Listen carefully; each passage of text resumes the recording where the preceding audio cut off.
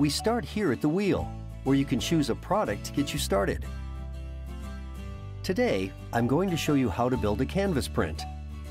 The Sendout Cards photo store uses the same technology for all of its products. So what you learn here can be applied to any of the other products that we offer. The first thing you'll want to do is choose a product option. In this case, I will choose a 16 by 20 inch landscape canvas, our most popular choice. Always watch the bottom right corner of your screen for the Next Step button. I'll choose Next Step now. Okay, now it's time to choose a theme. I'm going to choose full-size photo.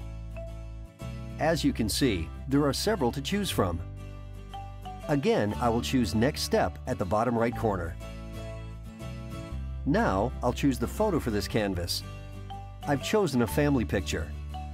In the bottom right corner, you'll find a preview button to see what your canvas will look like. After previewing my work, I want to go back and make some changes to this canvas, so I'll choose the back button at the bottom of the screen.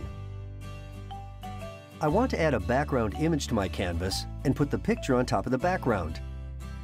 I'll start by selecting the picture and deleting it. Then I'll go to the Backgrounds tab at the bottom of the page and select Memories. And then drag the first one onto the canvas. Now I can add my picture back onto the canvas by dragging and dropping it. I'm now going to enhance the image by adding a border. I choose the Borders tab at the bottom and then Masks. By dragging and dropping the different masks, I can see the effects immediately and choose the one I like. Now I can add some text by choosing the Text tab at the bottom and dragging the text icon to the canvas.